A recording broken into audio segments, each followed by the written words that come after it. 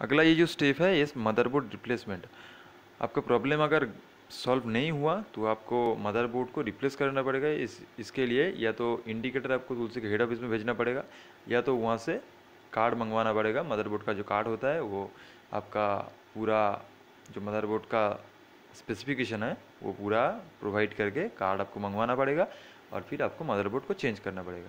ठीक है?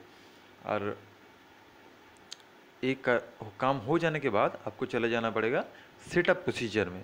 सेटअप का जो प्रोसीजर है indicator setup calibration setup printer setup date and time setup ये सब आपको करना पड़ेगा।